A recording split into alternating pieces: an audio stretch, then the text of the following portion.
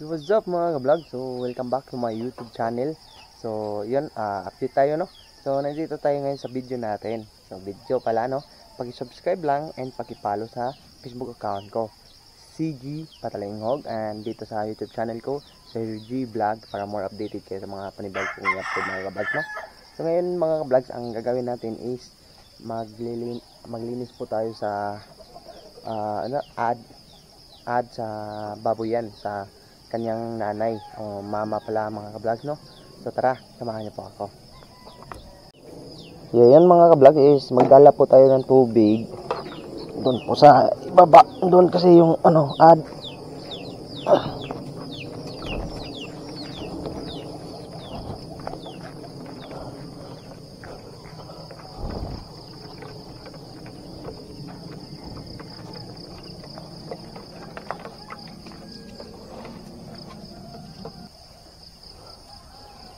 pasok muna tayo dito mga kablog no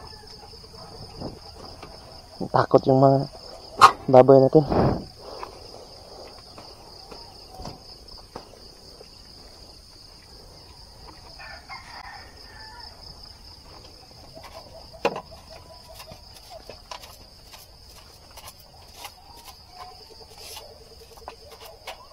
Yan, kapag malaki na yung mga baboy, pwede na natin liguin.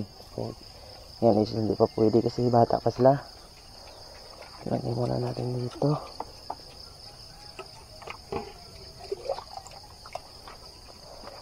Yan po.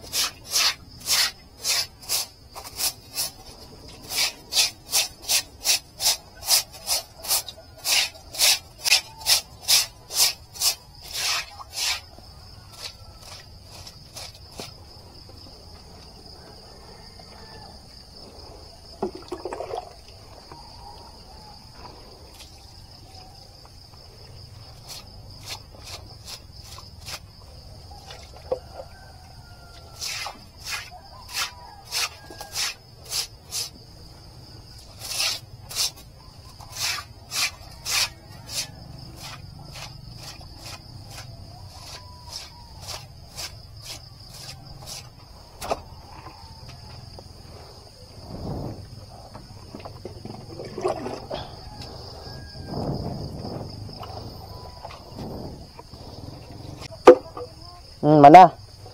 Kina.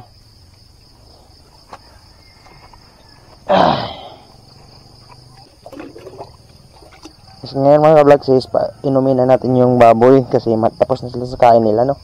Nalagyan natin tubig dito. Yan.